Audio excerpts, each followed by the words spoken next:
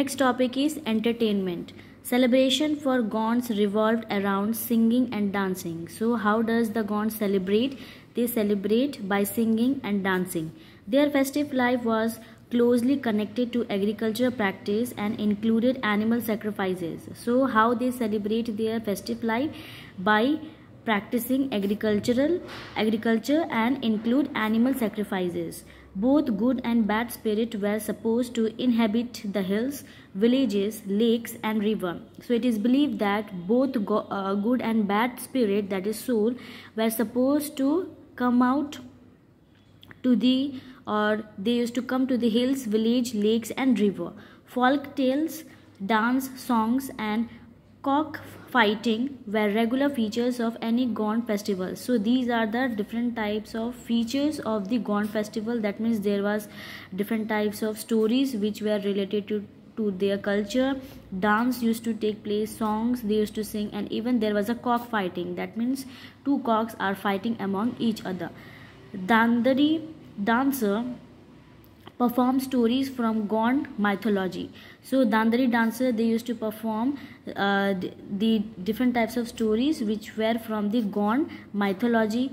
Uh, Gond bands also called Pardhans narrated legends, myths and history preserved over generations. So the Gond bands they were also known as uh. They used to narrate different types of personalities that is legends different types of myths and histories which their generation uh, which their ancestor have preserved so that they can transfer from one uh, one generation to an another generation in order to flourish the Gond tribal communities in uh, in the Indian subcontinent. Next is next tribal communities is the Ahoms of Assam. The Ahoms claimed descent from the Shan dynasty of China and Southeast Asia. So they are the descendant that is they have come from the Shan dynasty which is present in China and Southeast Asia.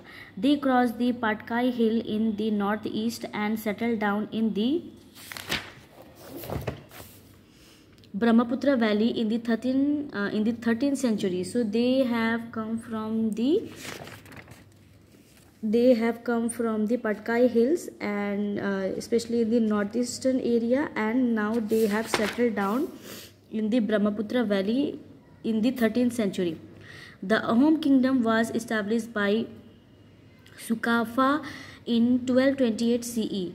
He befriended the local tribal groups and suppressed the locally powerful landlords called the Bhuiyans. So they uh, they that means the Ahom kingdom they uh, become close friend to the local tribal people and they started uh, slowly and gradually suppressing the landlords and those landlords name was Bhuiyans.